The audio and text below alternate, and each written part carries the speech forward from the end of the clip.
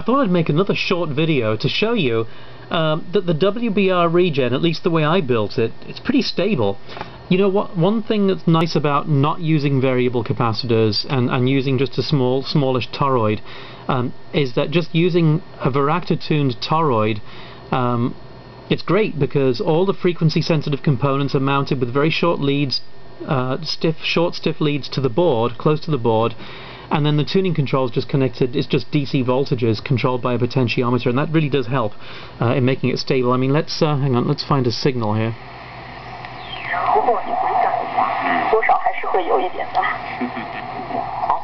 Uh, let's see, hang on.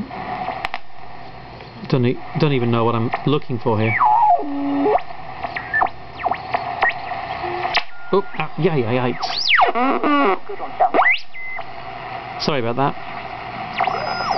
Oh, here we go, this'll do. The set's well into oscillation now, that's some kind of data noise. And let me just move the set around, watch this. I mean, it will shift in frequency a bit, but not a whole lot.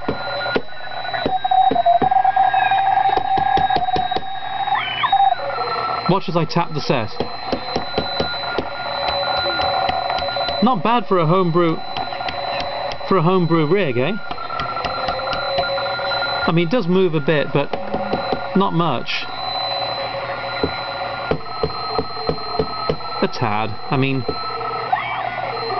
but I don't think that's bad at all. And although I haven't measured it, the long-term drift seems fairly good too.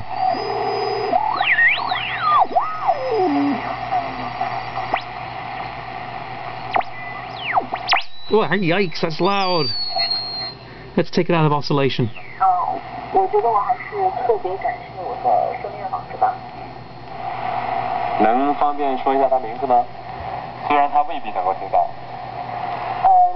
Okay, well there you go. That's just a little uh, little thing to illustrate that it's actually pretty solid. You know, people who tell you that regens are terribly uh, you know, unstable and, well, you know, it depends on, I guess, the design and also how you physically build it. The physical construction of regens is particularly important.